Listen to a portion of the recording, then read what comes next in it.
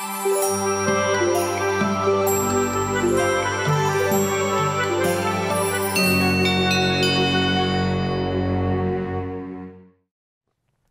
morning and welcome to Hump Day Hallelujah. I'm Pastor Scott and I'm coming to you from Ascension Lutheran Church in Citrus Heights.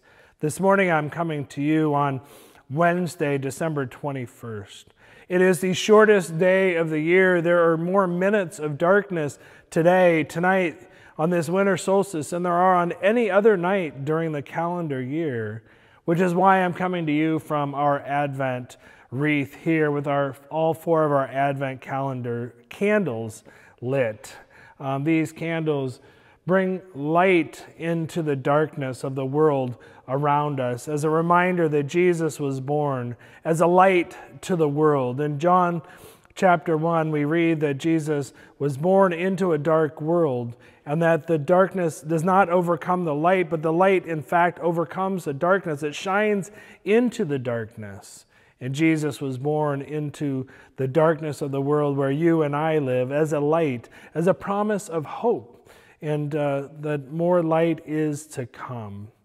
Tonight we will be gathering for a Blue Christmas worship service, acknowledging that this time of year and that the, the Christmas season isn't always joy filled for, for all of us. That there, this can be a reminder of, of some of the pain we've experienced in our lives, some of the disappointment, some of the laments that we have.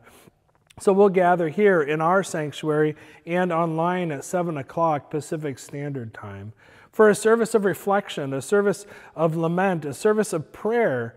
Um, and hopefully a service of healing where we can bring ourselves and those pains that we have and pray for them, offer them to, to God, and, and trust that God will meet us at that point of pain and in our brokenness.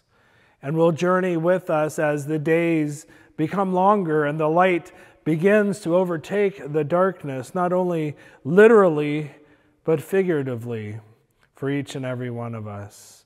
I pray for you that you are able to see the light amidst the darkness and that you have um, somebody to journey with you through these potentially challenging and difficult times.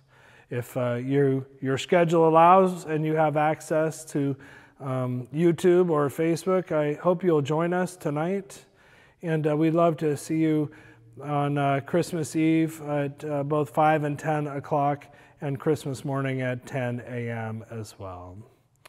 Be well, and I look forward to seeing you again on a hump day. Hallelujah.